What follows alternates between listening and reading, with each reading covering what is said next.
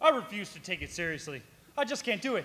Everybody's a fucking news crew. I mean, look at this. Puppies, kittens, baby animals of all kinds. Well, the world's gotta see how cat puke cute you really are. Aww. If you do not have babies, replace them with puppies or kittens. Dress them up, show them off, kiss them, let them kiss you. Aw, dude, did your dog just put his tongue in your mouth? That is gross. No, it's not.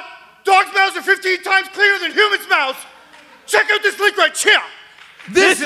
Facebook is for. Bacon burger, Bacon burritos. Bacon quilts. bacon sushi, changing the world on my lunch break. Fuck research. Clicktivism and clickbait. Repost the content that doesn't benefit the creator but earns ad revenue. Ooh. Finding out what BuzzFeed thinks of what Australians think of what Americans think of what Canadians. Eat for breakfast. Hashtag more bacon. Hashtag bacon on bacon on bacon. Hashtag bacon nom nom nom. Hashtag more maple. Hashtag maple bacon. Hashtag make mine on maple. Hashtag all maple everything. Hashtag we the maple. Hashtag baconspiracy. Hashtag what the fuck were we talking about? Churches. What?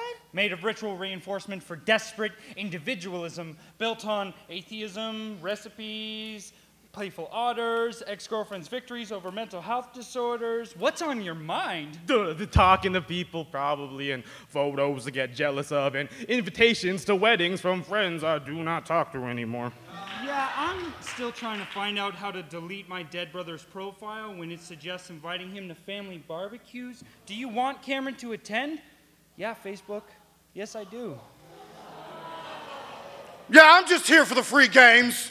Yeah, I don't know. For me, it feels kind of like a trap that I can't quite escape, and yet it's the safest place to discuss race. Mm. Amongst all the systemic supremacy and constant chatter, it's the one place I can consistently put it out to the universe Black Lives Matter! A forum for news they don't want you to know about. Right? Mm. See, we traded the power suit and microphone for a Guy Fawkes mask and an iPhone. Leave the group, block, unfollow, report. I keep getting invites to, in, to events in cities I've never really been before. Do you guys know where Decatur Georgia is? I'm interested in an internet considered for 10 seconds kind of way, not in a put on pants, siphon some gas, leave the house kind of way. Yeah, I mean, maybe is the most I can commit to an event that doesn't directly spotlight me.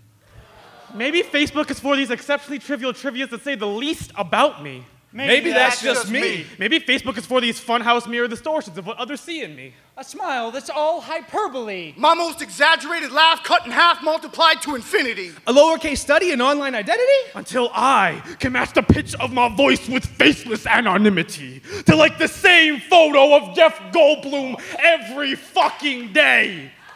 Share if you agree.